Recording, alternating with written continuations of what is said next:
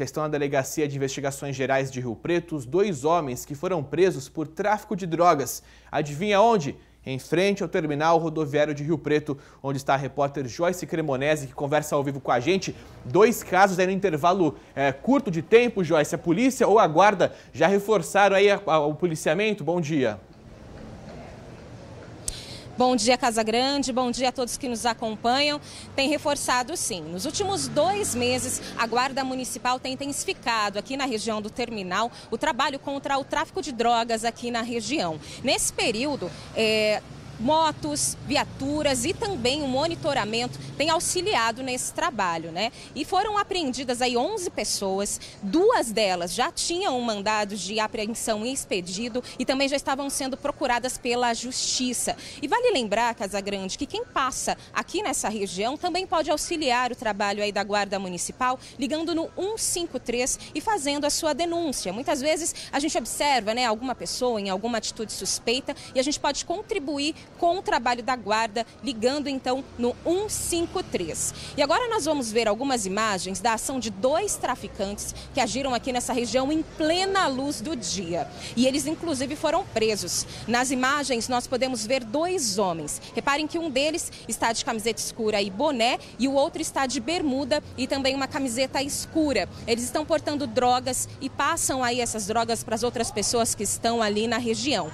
Em seguida, eles foram presos presos e um deles ainda tentou esconder a droga dentro da boca. Eles estavam portando crack e maconha. E vale ressaltar, né, Casa Grande, que essa ação que a gente está vendo aí, que a gente acabou de ver nas imagens, aconteceu exatamente aqui onde nós estamos, que é bem a entrada do terminal urbano de Rio Preto, onde muitas pessoas passam, né, voltando do trabalho ou indo para o trabalho. E essa região aqui tem muitos moradores de rua, pessoas pedindo dinheiro. Então as pessoas realmente têm essa sensação de insegurança, né? E realmente esse local, essa região necessita de uma atenção maior do poder público. Casa Grande. Exatamente. Quem conhece essa região sabe do que a Joyce está falando e do que eu vou falar agora. É um ponto aí, não só de tráfico de drogas à luz do dia, como a situação piora ainda mais à noite. Muitos dependentes químicos, usuários de drogas, ficam perambulando ali pelas ruas ao redor, inclusive da praça que fica bem próximo ali, a cerca de duas quadras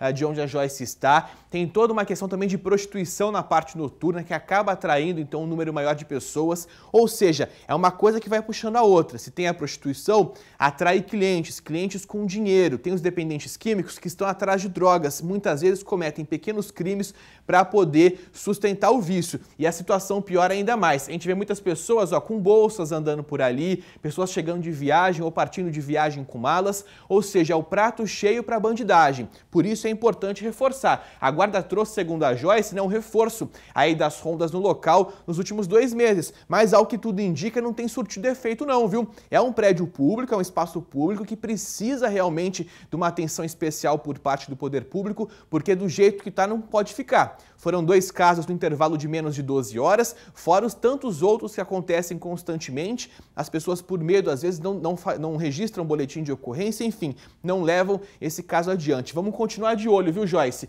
Vamos continuar de olho, ficar em cima desses casos, porque quem mora em Rio Preto não merece uma situação como essa, como a Joyce relatou. Obrigado pelas informações, um bom dia para você, um bom trabalho.